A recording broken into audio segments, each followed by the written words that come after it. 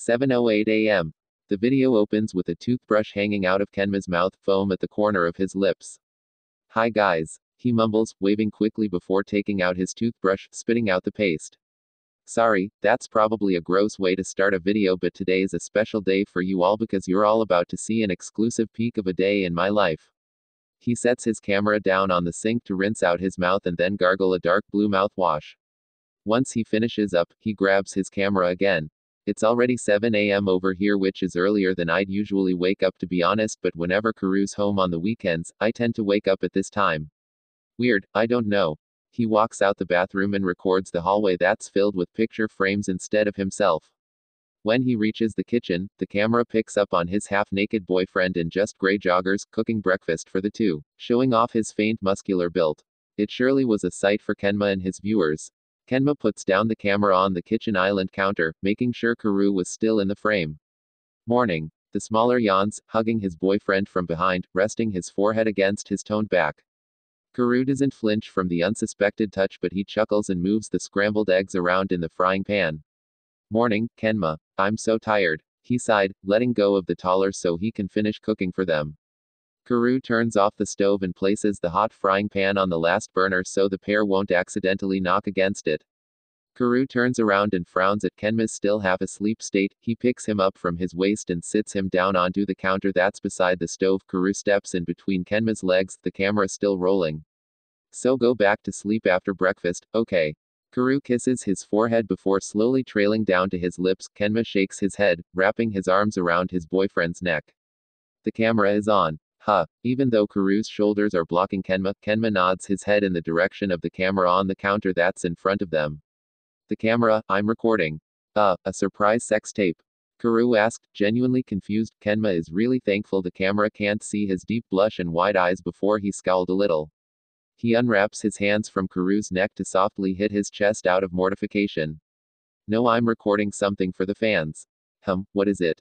A day in my life, I'm going to be recording all day so my fans can see what I usually do on Saturdays. Like a vlog. That way our bond can be closer, you know.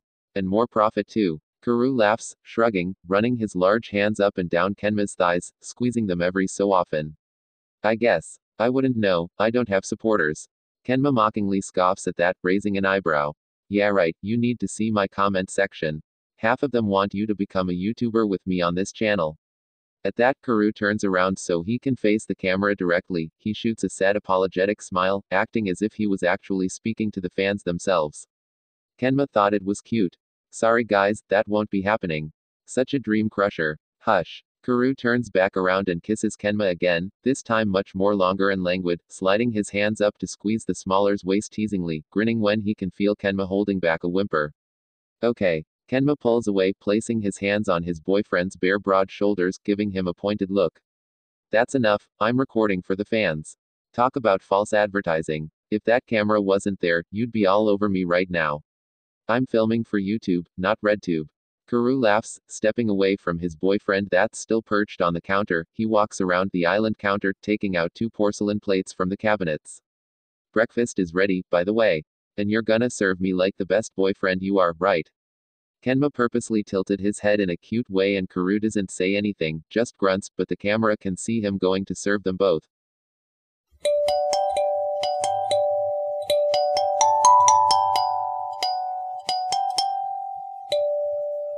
11:35 a.m.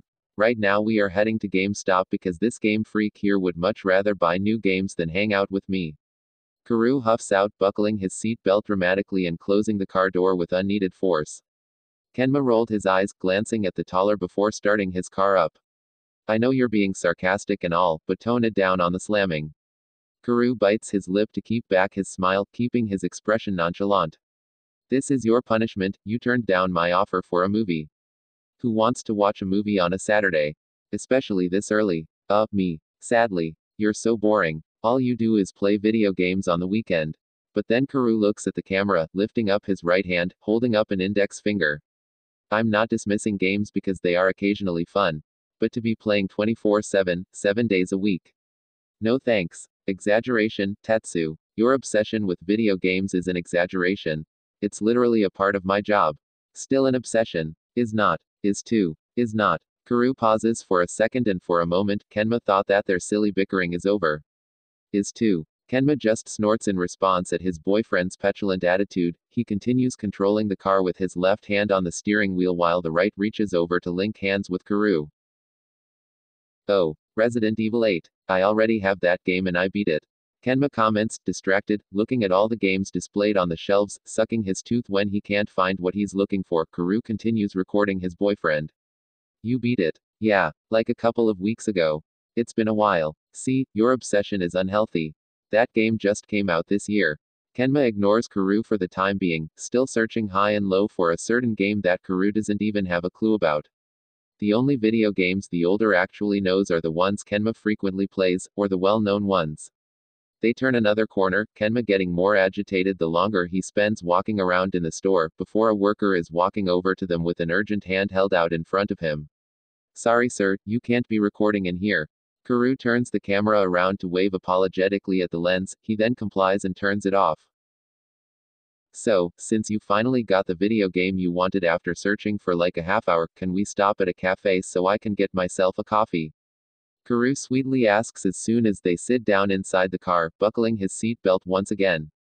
Kenma puts the plastic bag that has the video game inside it behind him and onto the backseat. You just had one on our way here. So, Kenma looks at Kuroo, shaking his head, but he had a hint of a smile tugging at the corner of his lips. Sure.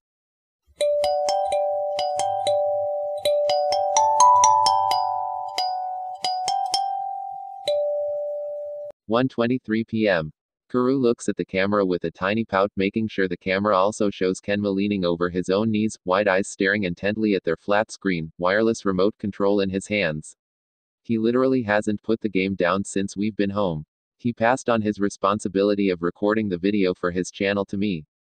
Nice. Kenma doesn't even cast a look at him to show he had been listening to his boyfriend's sarcastic comment. Instead, he curses under his breath, thumbs repeatedly pressing buttons so frantic and hard, it's a miracle the remote is still held together in one piece.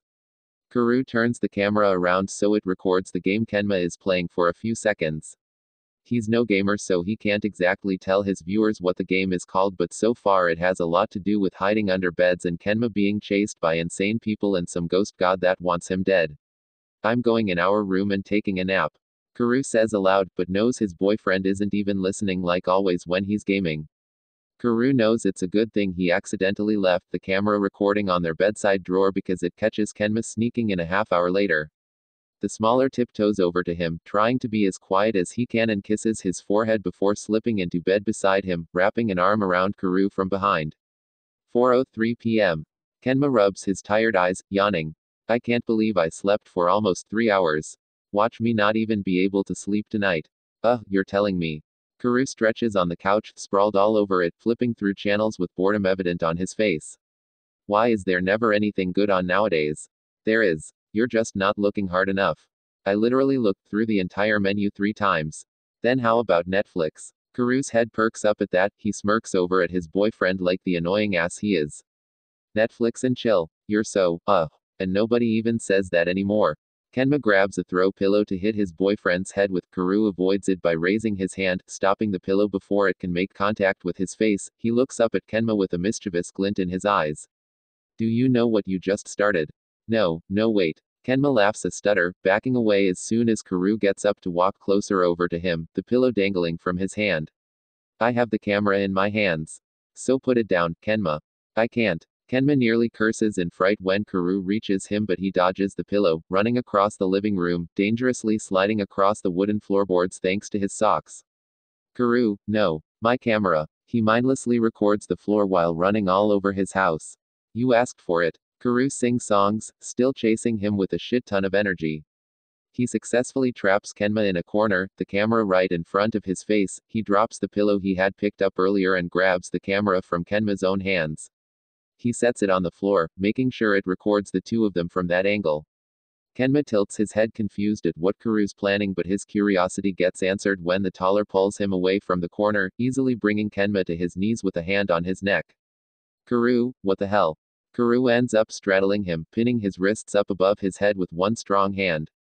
Kenma begins to thrash around, kicking frantically and laughing uncontrollably when his boyfriend starts tickling him all over. Say you're sorry and how you should have never messed with the king, aka me, in the first place. Oh, and you love me. Kuroo teases, still torturing his smaller boyfriend with his tickling. I I'm sorry. I'm so so sorry. Kenma hastily screams it out without any disagreements, still laughing, squirming under his boyfriend's weight. You're the K King and I should have never messed with YU. I love you. I'll love you. Do you hear that, everyone? Kuroo finally spares his boyfriend, grinning over at the camera that had captured everything. Kenma pants heavily, too exhausted to even argue with him. I love you too. Kuroo bends down, kissing him lovingly.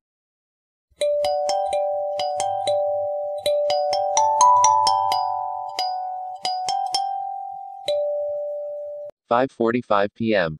We got Chef Kuroo in the kitchen once again. Kenma announces dramatically in his flat voice when he steps out their bedroom, camera in his right hand. Kuroo looks over his shoulder and stops stirring the rice, smiling at the camera and his boyfriend. Food's almost done. He turns down the stove so it's on low. I'm so lucky. Kenma dramatically sighs, taking a seat on the stool by the island counter, drumming his fingers against the marble. Always cooking breakfast and dinner for me. You only love me for my cooking. I am neither confirming or denying that. Kenma jokingly replies back and Kuroo pretends to be hurt by placing a hand over his heart. Babe, can you get me the soda in the fridge? Kuroo leans back against the counter, like he couldn't just walk a few more steps and do it himself. Lazy ass. Kenma rolls his eyes, setting the camera down on the counter, hopping off the stool to get the soda. When Kenma turns his back, it makes sense to the smaller on exactly why Kuroo didn't want to get the drink himself. A loud smack can be heard echoing throughout the kitchen, as well as Kenma's loud surprised gasp. Tetsu, what the hell? Kenma yells, whipping his head around to glare at his immature boyfriend that was throwing his head back in triumph laughter. And I only love you for your ass.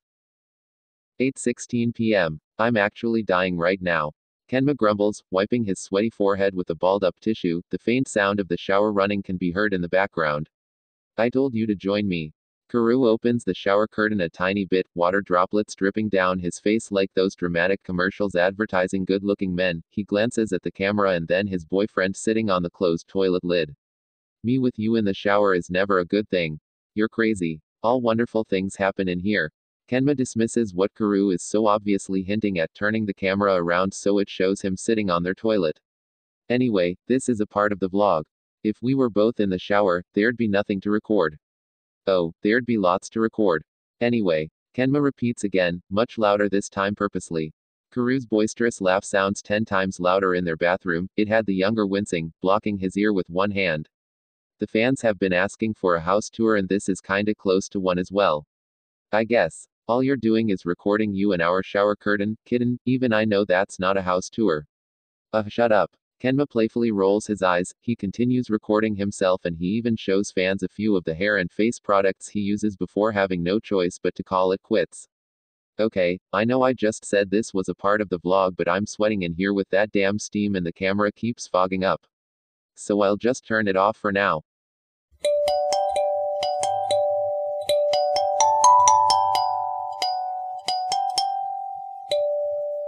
Ten twenty-five p.m.